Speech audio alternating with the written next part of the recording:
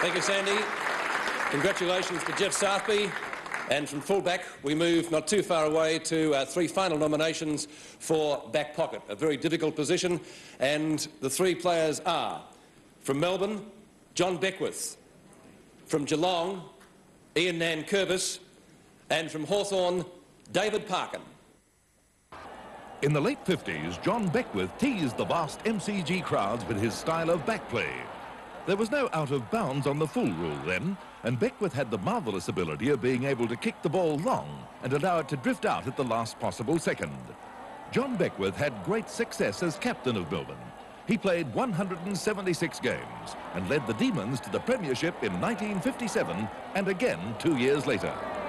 When Ian Nankervis took over the back pocket position in the mid-70s for Geelong, he knew just what to expect.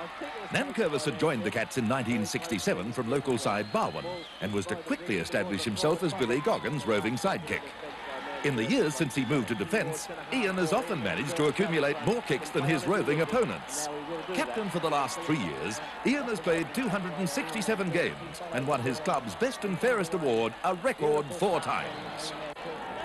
A bit player in Hawthorn's 1961 Premiership triumph, David Parkin was to play a major part in the club's next three premierships. He played one game in 1961, but by 1965 was regarded as the safest defender at Glenferrie and one of the most reliable back pockets in the league. He backed his judgment and played with a tear-through style that endeared him to coach John Kennedy. Parkin played 211 games for the Hawks, captained the side to the 1971 Premiership, and coached it to the 1978 flag.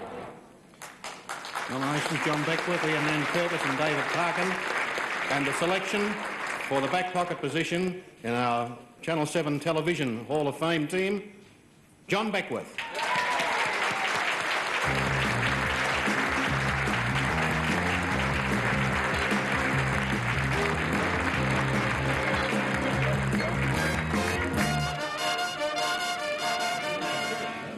John, firstly, those leg breaks along the boundary. How did you do them?